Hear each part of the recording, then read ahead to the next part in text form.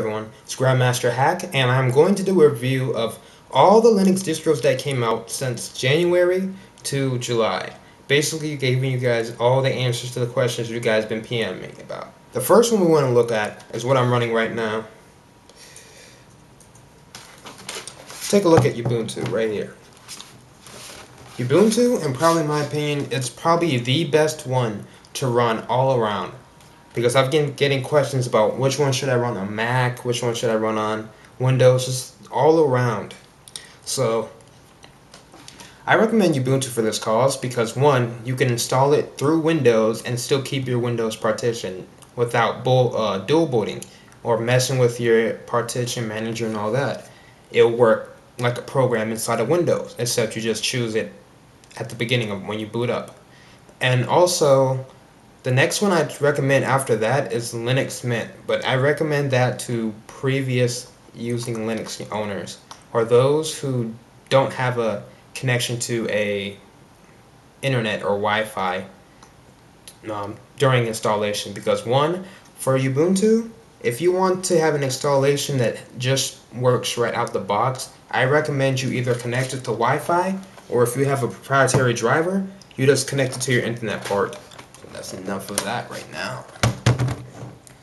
And basically, what I've been working on after that is Mate, uh, Linux Mint 13 is Mate, uh, their KDE edition, their Cinnamon edition, and that would be my next recommendation, except I'd recommend the XFCE version. My opinion, the Mate version is just not, it's just not there yet. Uh, for laptops, my laptop experience with it, it's been noticeably noticeably slower than Ubuntu. The boot up time for that is noticeably slower on laptops compared to the desktop or or Ubuntu on the laptop. So I've tried it on my computer right here and my laptop right here.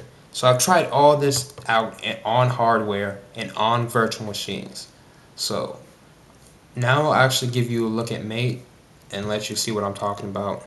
So we're turning on the PC here we're gonna see how Mate boot boots up. I have it to automatically log in. So, but my main complaint about it is it is yes slower than Ubuntu, and on top of that, uh, when you first load up the menus, it's just so so slow. Like it it will take a while. But other than that, I recommend the XFCE. The only reason why I haven't wiped it yet and installed XFCE is because I have to back up this computer since this computer is the backup. So I got to back up the backup. And then on top of that, XFCE edition just came out, what, a few days ago? So yeah, that's my only complaint about that. You see, this is the boot up time, but Ubuntu would have been logged in by now. Uh, I don't know if I can show you, but at the bottom right, as you see, the menu hasn't even loaded in yet, and that's instantaneous on the other ones. And it'll take a while sometimes, and even longer on the laptop. Uh, when using it, I kind of find some of the menus a bit laggy, so that's my only dish uh, I can't recommend Mate Edition because it's it's slow, it's laggy. As you see my playthrough, that was the I was playing that game on Mate on the Mate Edition, and it, it was just slow and laggy. That the lag was coming from. It wasn't even my recording wasn't the Ethernet. It was the actual desktop environment just just just being laggy because I tried it on my Ubuntu thing, my Ubuntu laptop, and it worked just fine. And it's it's just a laptop in my opinion. Oh, not in my opinion, it's factually the laptop. so I will be installing XFCE Edition later. I, and I just basically recommend Ubuntu 12.04, the LTS release, for, for as a main distro. For those who want to use it on your Mac, your main computer, anything, Ubuntu would be the best one. Uh, if you, yeah, basically the best one.